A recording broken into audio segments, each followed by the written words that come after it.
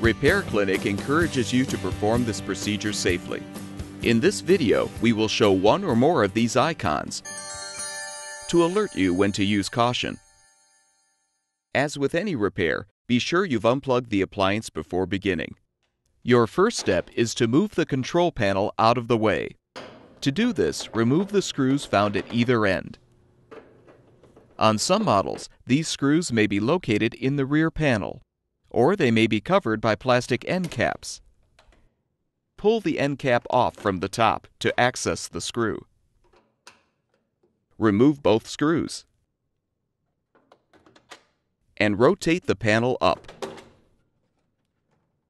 Some models use clips instead of screws to secure the control panel. Insert a putty knife between the control panel and the cabinet to release the clips. Unplug the wire connector and snap out the spring clips using a flathead screwdriver.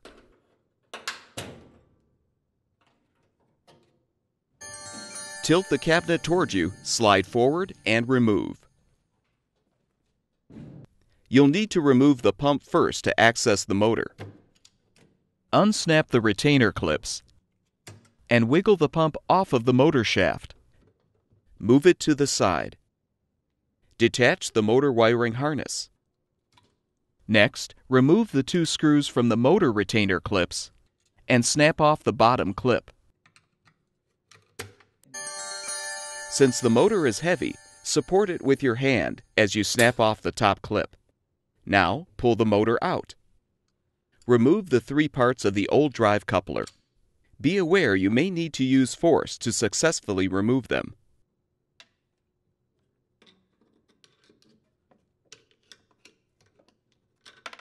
You're now ready to install the new drive coupler.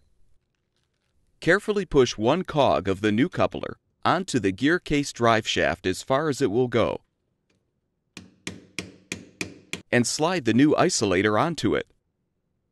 Carefully push the other cog onto the motor shaft until it is flush against it.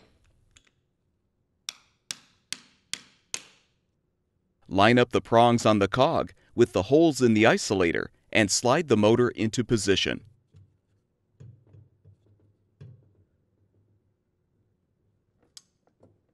Reinstall the retainer clips and screws.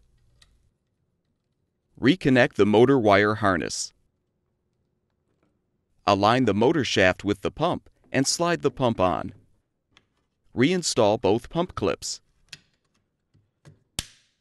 Now reinstall the cabinet. The front edge of the cabinet slides underneath the base frame. Use your foot to push it into position. Align the two notches in each side of the cabinet with the tabs on each side of the base frame. Now ease the cabinet to match up with the rear panel. Reinstall the spring clips. Reattach the wire connector. Rotate the control panel down and lock the clips into place or reinstall the two screws. If applicable to your model, replace the end caps by aligning the tab with the slot at the bottom and snapping the cap into position.